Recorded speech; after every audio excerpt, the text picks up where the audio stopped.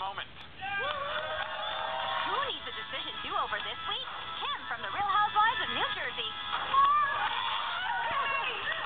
She should stick to lap dances. Don't waste time with do-overs.